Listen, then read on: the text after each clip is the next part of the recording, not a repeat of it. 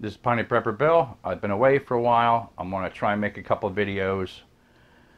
Uh, I needed to take a break and get away, but um, a lot of things been happening, going around. A lot of things been going on at the home front here. Uh, a story for another video or something, but I got some videos that are probably going to be taken down. I don't I'm gonna have to do them one at a time and see if I get copyright strikes or if they get taken down for community guidelines. And if you do two or three in a row or something you're gonna get taken right down. So I'm gonna try and do it uh, kind of covert I guess with words and titles. So I'm not gonna put them in the video title. I'll just put clips or something in there. But for this first one uh, the news is bullshit. Uh, the media is bullshit. I was born and raised in New Jersey. I've lived here almost my whole life. I've moved out of state a couple times and moved back. But Jersey is a shithole. It's ex expensive as hell to live here. The taxes are crazy. The dumbest people I've ever met come in frickin' New Jersey. But here we go. Here. A survey ranked New Jersey as the number one state to live.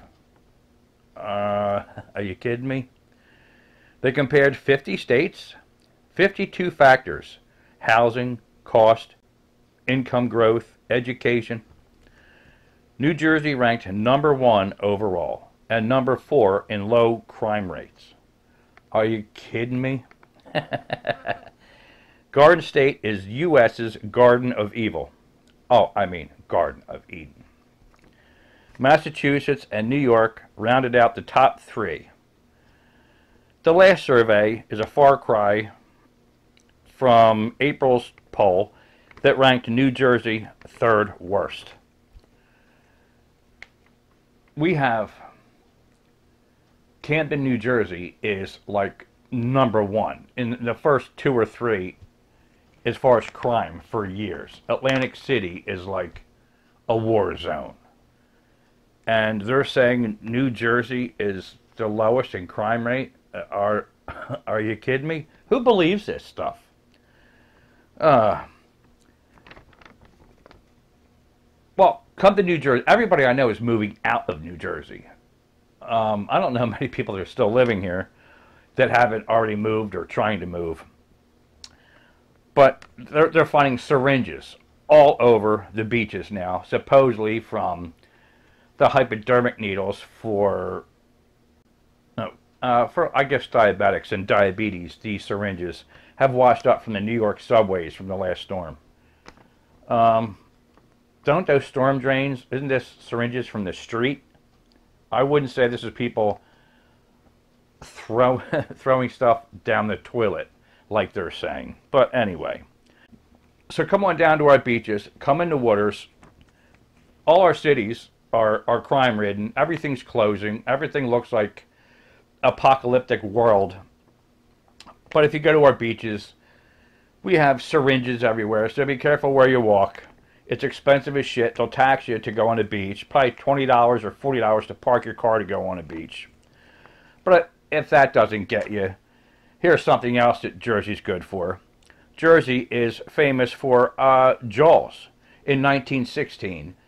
Uh, well, they said it was a great white shark, but shark great whites don't go in fresh water, so it was most likely a bull shark they came out with now. But in 1916, a bunch of people were killed uh, off the coast of New Jersey and in uh, the Manawan, am I saying that right? The Manawan, Manasquan River yeah, in fresh water. People and kids were killed in the river. So yeah, Jaws was based on a New Jersey shark attack that left four dead, and uh, and now uh, just the other day they caught another great white shark. She is nearly 900 pounds and 11 feet. Her name is Freya. She is a great white shark, and last Friday, she was tracked close to the coastline of Atlantic City. Today, she is in Rhode Island, and this path up north is normal this time of year. Sharks this size can travel 150 miles a day. I don't have to get in the water. I can view it. He can live in his own habitat. I'm on the beach. I'm on the land. We friends.